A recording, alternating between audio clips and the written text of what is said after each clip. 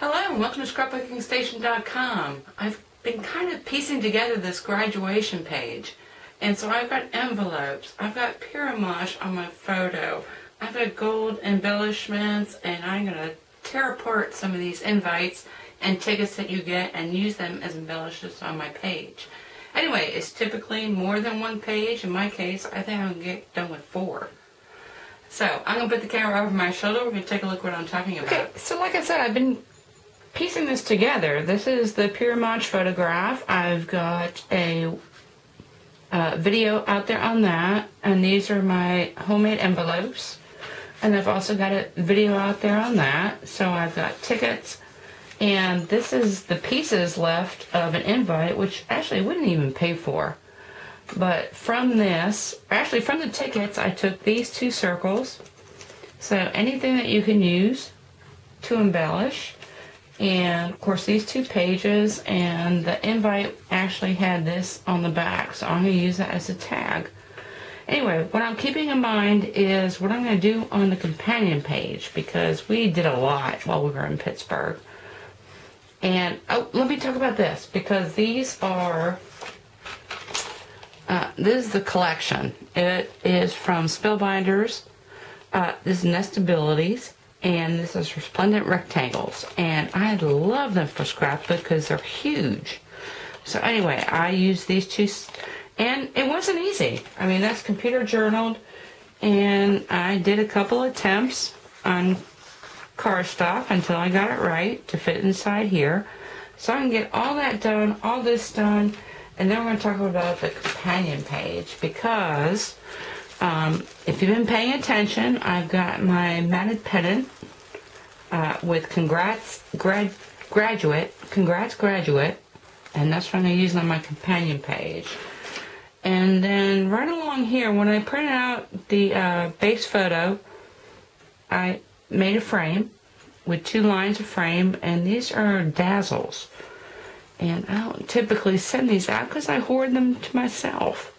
And then I got plenty more for corners, and so I'm going to use some of those as well. Anyway, let me get this one done, and then we're going to work on the companion page. Okay, so last we left off with my finished uh, first page, the primary page. So I've got all my tickets, uh, pieces of my invites, all in nice envelopes course, the Pyramage photo of my daughter graduating with her little tassel, and then the plate, which with her honors and whatever. So now I got to do the companion page.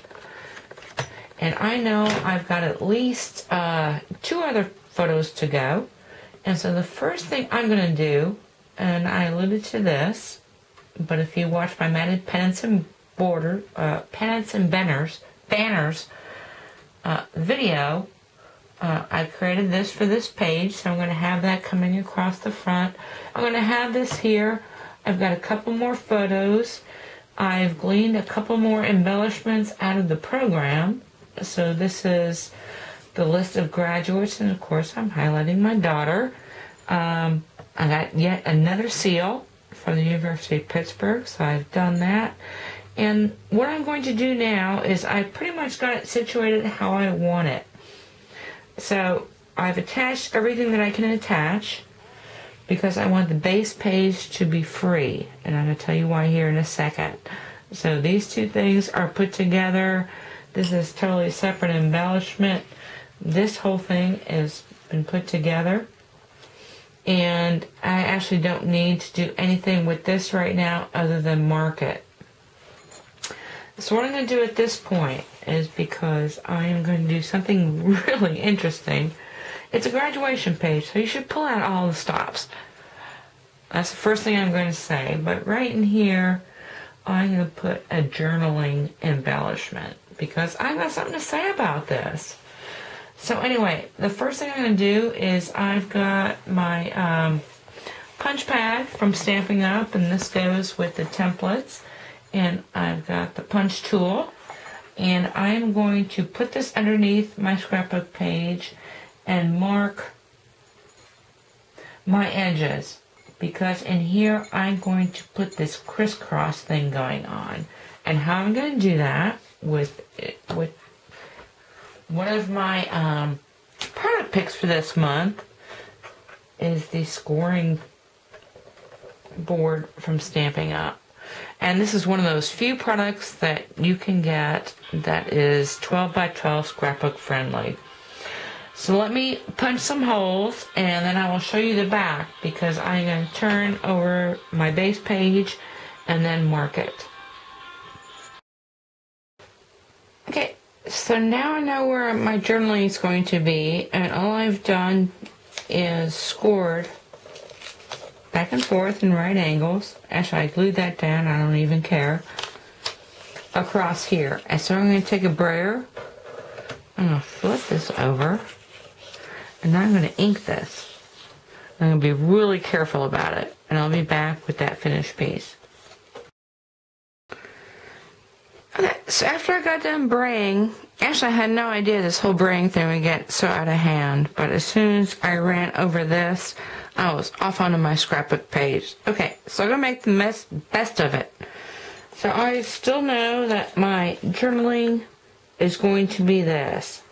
So now what I'm going to do is make the same crosshatch a little bit smaller onto the navy, uh, not, what is it, of Navy cardstock.